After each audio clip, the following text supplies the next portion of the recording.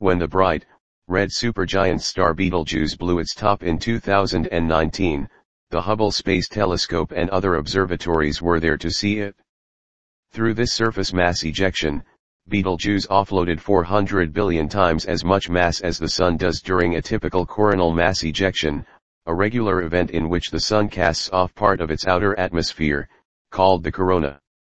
This wasn't some sort of supernovae finale event, though. Betelgeuse one of the most prominent stars in the Milky Way, a part of the Orion constellation still seemingly acts like a normal star, and may even be recovering. After analyzing the 2019 data, astronomers have concluded that this is behavior we've never seen before in a normal star. Betelgeuse continues doing some very unusual things right now, Andrea Dupree, a researcher with the Center for Astrophysics, a collaboration between the Smithsonian Astrophysical Observatory and Harvard College Observatory, says in a news release. The interior is sort of bouncing. The 2019 surface mass ejection popped the top off of Betelgeuse, and recovery from something so devastating is a tough path.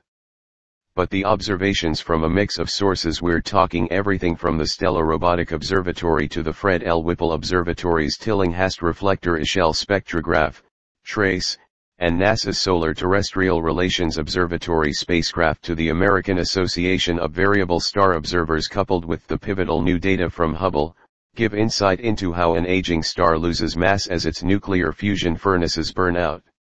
We've never before seen a huge mass ejection of the surface of a star, Dupree says. We are left with something going on that we don't completely understand. It's a totally new phenomenon that we can observe directly and resolve surface details with Hubble.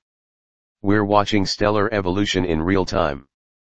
Betelgeuse is so prominent in the Milky Way galaxy that such a magnificent event not only provides plenty of world firsts in the study of stars, but may continue offering up a knowledge base on how stars act before, during, and after a significant surface mass ejection.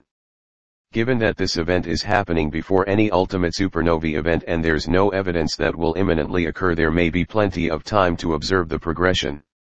Researchers now believe the 2019 event came from a convective plume more than a million miles across from deep inside the star.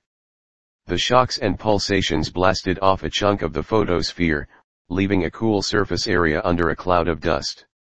This fractured piece, several times heavier than the moon, dimmed the star so much the difference could be seen without a telescope. The supergiant star's well-chronicled 400-day pulsation rate is gone, and Dupree says the star's interior convection cells driving the pulsation may be sloshing around like an imbalanced washing machine tub. Data from Hubble and TRACE suggest the outer layer may have recovered, but the surface is bouncing like a plate of gelatin dessert as the photosphere rebuilds itself.